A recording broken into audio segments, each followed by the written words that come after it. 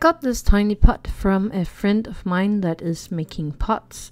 Uh, and I am kind of destroying a little of the edge right here. I'm saving these pieces for later. Uh, I am going to make a little landscape in the little pot. So for that I want a little picket fence. So that's what I'm working on right here. Welcome to my channel and uh, I hope you will enjoy this little video today. I rolled out some white clay in the thinnest setting on my pasta machine and first of all I cut two really long pieces here with a little um, space in between them. Now I am cutting out the poles for the uh, picket fence and I'm cutting them a little less than a centimeters tall Then I made a tiny point on these small pieces here before I placed them on the fence and I'm just placing them with a tiny bit of a spacing between them uh, and I'm using some Bake and Bond to keep it all together when I am baking it and after that so that everything will stay together as one uh, uniform picket fence when it's all baked so just do that all the way to the end of the little picket fence. So that's the fence and I'm gonna leave that for uh, later when I'm going to bake every part together. Here I'm making kind of a um, round shape uh, log thingy and that's going to be a tiny house that's going to stand in this potted plant and I just measure it to make sure that it is not too big for the little uh, pot that I have. Here I am shaping a uh, witch hat, the cone shape. Uh, this is going to be the roof for the little hut that I am making. So I'm just shaping that into a pointy thing here and placing that on top of the white. Uh, and again, I'm using a tiny bit of Bake and Bond to uh, glue the two parts together when I'm ready to place it on top of the little white log that we made.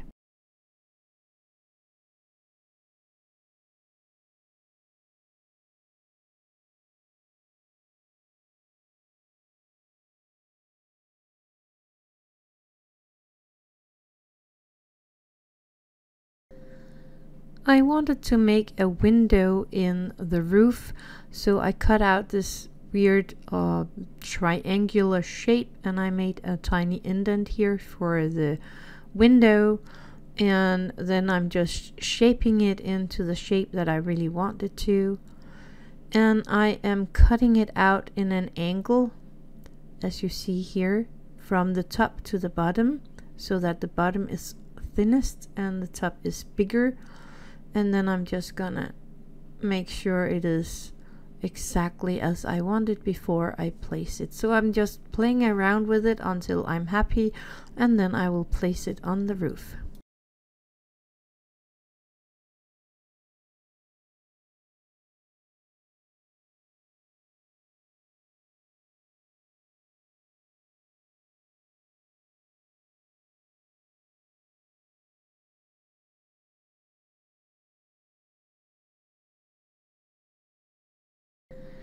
And now I want a roof on that part, so I'm just taking a piece of uh, black clay that I rolled out again in the thinnest settings that I have.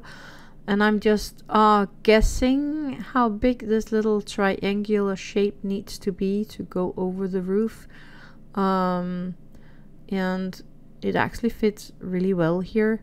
So I'm just putting the pointy part of the triangular to the roof itself and then the smaller pieces go down the side of the window just like you see here and there you have the ceiling or the roof for the little window.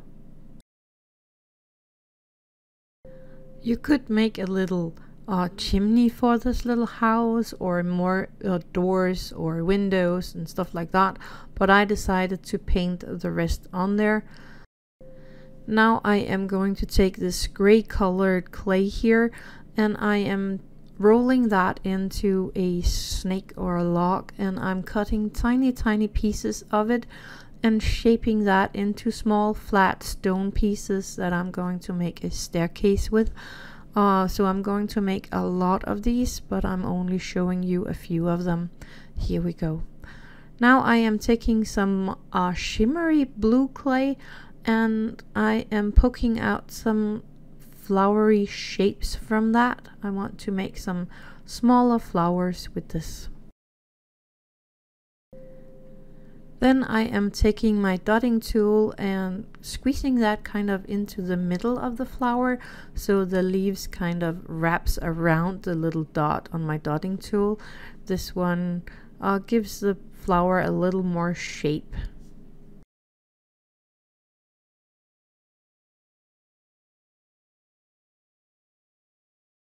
Now let's work on the pot itself. I am taking some Bake and Bond and putting that in the bottom of this little pot here. And I had a piece of some brownish clay that I'm popping over the little hole so you don't see the green from the bottom. Uh, and then I'm using some rest clay from some old cane that I had uh, made a few months ago and I'm just stomping that into the bottom of this little pot. Now I'm taking a few of these small pieces that I broke off the pot and I am placing that here in around uh, where I feel like my little garden needs to be. So I'm just making sure it is good placed in there, this little piece. You can put as many pieces in there as you want to, but don't put too many so you don't have room for the decorations. Um, I should have stopped with one, but uh, I wanted one more, so I did that. Then I am filling a tiny bit of more clay in the top. This is a brownish color, if you can see that through the grass and stuff like that. Later I want it to look like dirt, so I uh, brownish color and I place a dark gray at the bottom part of this little pot. I glued in the little house with my uh, Fimo liquid here to make sure that it will stay where I want it. And um, I got a little too much Fimo liquid there, so I'm just gonna um, put it all over here because I want the grass to stick. And the grass is kind of simple to make. I have a log of green clay and I'm just scratching a tiny bit of it with a needle tool and then placing it around the little hut and placing it where I want it to.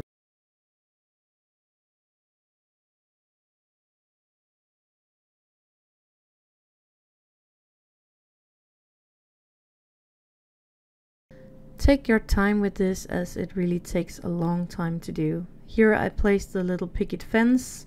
Uh, it is so soft that you can actually bend it a tiny bit without breaking it.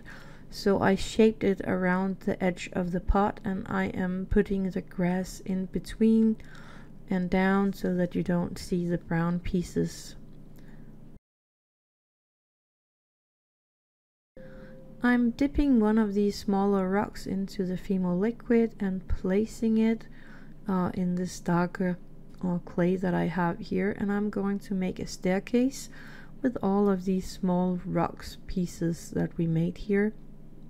You can make this as you want to, maybe longer or um, smaller than this one, but it's all up to you. This is just one way to do it.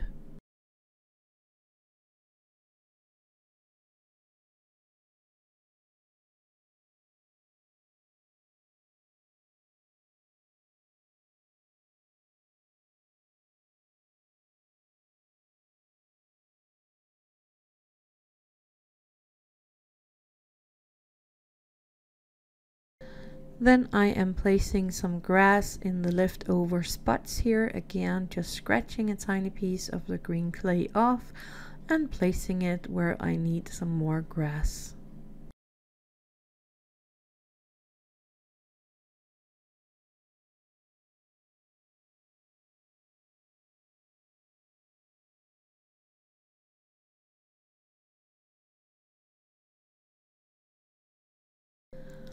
But we need some flowers in here as well.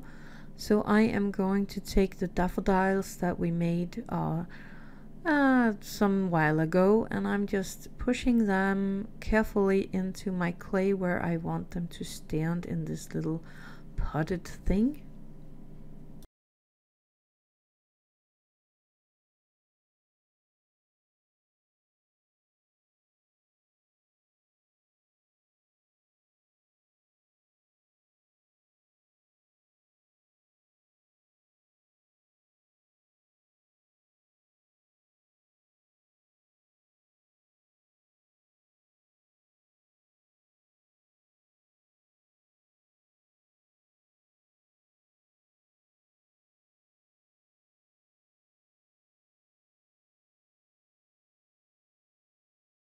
And we need some of these shimmery bluish uh, flowers that we made earlier. So I'm just dipping them into the Fimo liquid and placing them where I want them around this little garden area here.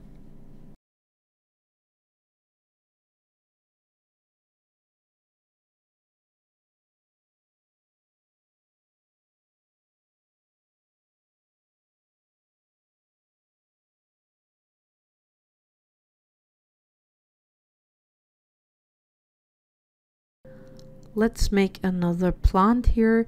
Um, I know what these are called, but I am not going to try to say the name of that because I know I will just butcher it. Um, anyway, I rolled out a piece of light green clay into a snake and I shaped it a bit like a teardrop and then cut off slices of it and then uh, shaping it a bit in between my fingers this way it doesn't have sharp edges on there and it looks more organic and then I'm just filling up this little spot here with the leaves from the outside to the inside.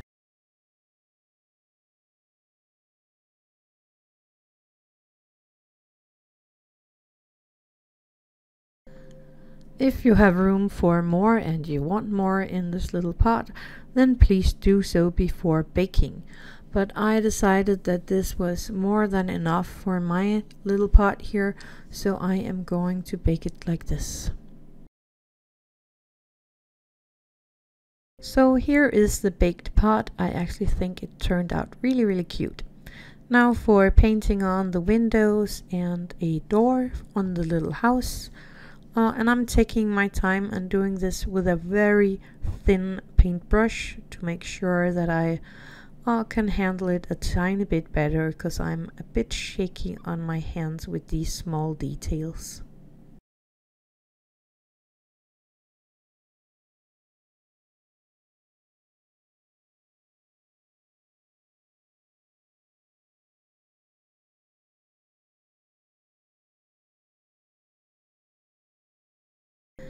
I gave the flower here a tiny bit of purple on the ends of these leaves and I'm not gonna say the name again because I know I won't be able to. Um, I had some brownish clay here at the background and I'm using that for making the fence a tiny bit dirty and a few other details here and there, the little house and the stairways and so on. So that's the done result. I actually think it turned out really really cool. Uh, uh, thank you for watching and I hope you enjoyed this video. So happy crafting.